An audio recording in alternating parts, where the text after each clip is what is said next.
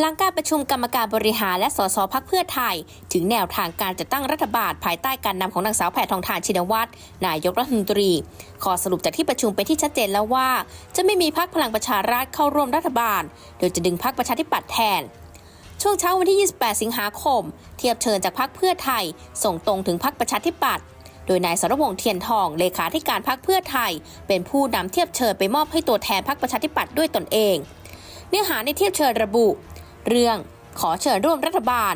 เรียนนายเฉลิมชัยศรีอ่อนหัวหน้าพักประชาธิปัตย์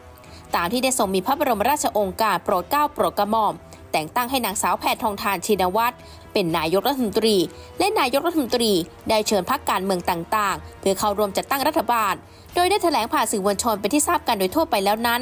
พักเพื่อไทยในฐานะแกนนำในการจัดตั้งรัฐบาล เห็นว่าพักประชาธิปัตย์มีบุคคลที่มีความรู้ ความสามารถ และมีอุดมการณ์ที่จะทำงานร่วมกันได้ จึงขอเรียนเชิญพักประชาธิปัตย์ได้เข้าร่วมรัฐบาล เพื่อร่วมการบริหารราชการแผ่นดิน ให้เกิดประโยชน์แก่ประเทศชาติ และความผาสุกของประชาชนต่อไป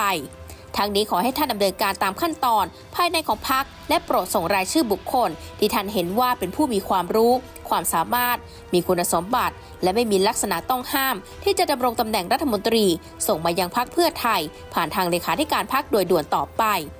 ซึ่งต้องจับตาพักประชาธิปัตย์หลังได้รับเทียบเชิญแล้วจะมีการเรียกประชุมกรรมการบริหารพรรคและสสเพื่อโดยวาระการประชุมจะเป็นการพิจารณาการร่วมรัฐบาล และการเสนอชื่อบุคคล เพื่อดำรงตำแหน่งทางการเมืองในวันที่ 29 สิงหาคมนี้